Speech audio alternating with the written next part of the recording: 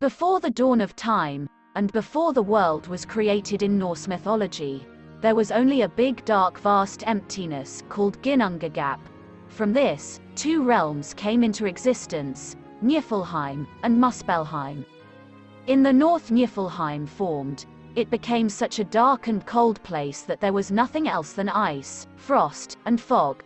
To the south of Ginnungagap, the realm of Muspelheim formed.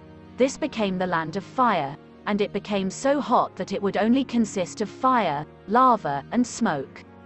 This is the place where the fire giant Surtur lives along with other fire demons and fire giants. It is said that the spring called Hvergelmir is where all the cold rivers are from. The name of these cold rivers is Elivagar which means, ice waves. Each of these 11 rivers has a name, but as a whole, they are referred to as Elivagar. The water from Elivagar floated down the mountains to the plains of Ginnungagap, where it solidified to frost and ice, which gradually formed a very dense layer, which grew in size, in all directions. From Muspelheim in the south came lava and sparks into the great void Ginnungagap. In the middle of Ginnungagap, the air from Niflheim and Muspelheim met. The fire melted the ice and it began to drip. Some of the ice started to take the shape of a humanoid creature. It was a Jotun, also called a giant. This giant was Ymir, the first giant in Norse mythology. When Ymir fell asleep, he started to sweat and the sweat under his arms grew two more giants, one male and one female, and one of his legs paired with the other to create a third, a son Thrudgelmir, strength Yella, these were the first in the family of frost giants also called Jotnar. They were breastfed by the cow giant Audhumbla who like Ymir, was created from the melting ice in Ginnungagap. The giant cow Audhumbla fed herself on a block of salty ice, and while she was licking on the ice block something strange happened. On the first day, some human hair emerged from the block. On the second day, Audhumbla licking on the salty ice block a head appeared. At last on the third day, the rest of the body came out. The man who had grown out of the salty rock was Buri, the first of the gods, Buri was a giant, big and handsome. He would later have a son called Bor, with his wife Bestla. Bor and Bestla would also have three sons, Odin, Vili, and Ve. Odin and his two brothers were bothered by the fact that the giants outnumbered the Aesir. The giants were constantly conceiving new giants. The only solution they could see was to kill Ymir.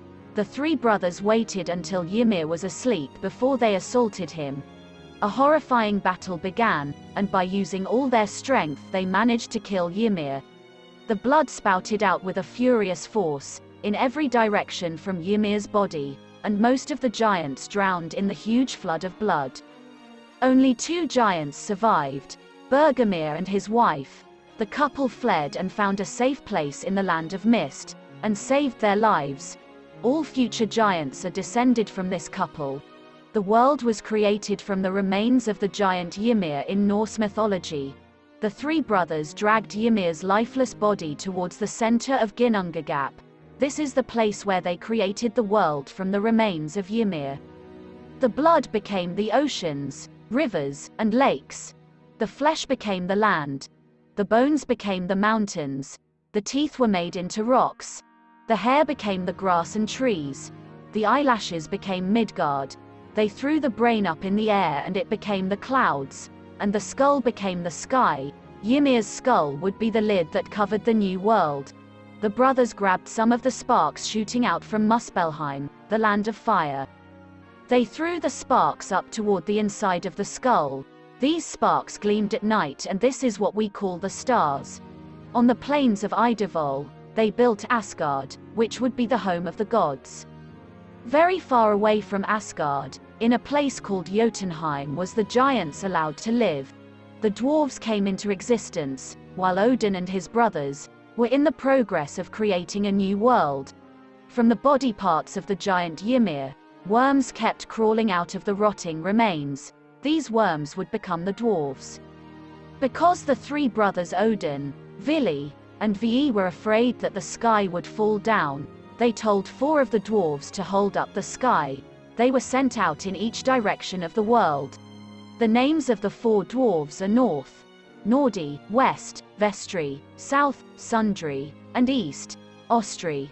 The rest of the dwarves made their homes in rocks and caves under the ground, which is called Svartalfheim the home of the dwarves. They became experts in craftsmanship, and they have created some of the most powerful and magical weapons, like Mjolnir, Thor's hammer, but also beautiful jewelry. A man by the name Mundilfari, the one moving according to particular times, from Midgard had two children. They were so shiny and beautiful that he decided to call his son Mani, moon, and his daughter Sol, sun.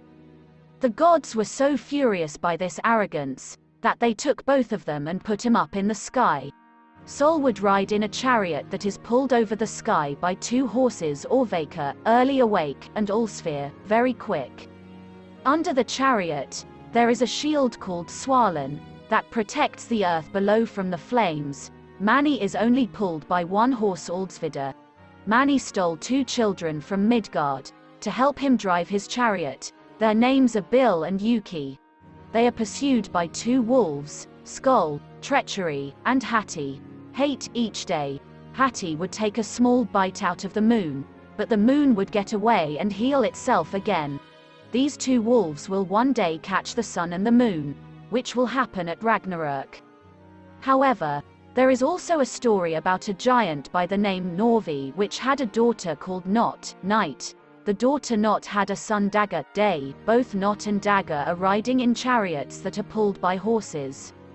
Not is pulled by her horse Rimfaxi, Rime Mane, and behind her is Dagger, pulled by his horse Skinfaxi, Shining Mane. These are apparently also followed by the two wolves, Skoll and Hati, which makes this part a bit confusing since there are multiple and conflicting sagas about this part in Norse mythology. One day, Odin and his two brothers, Vili and Ve walked on the beach. There they found two logs, one was from an ash tree and the other was from an elm tree. Odin gave the logs spirit and life. Ve gave them movement, mind and intelligence and Vili gave them shape, speech, feelings, and the five senses, and the first two humans had been created. The man was given the name Ask, and the woman was given the name Embla. The Aesir decided the humans should live in a place called Midgard.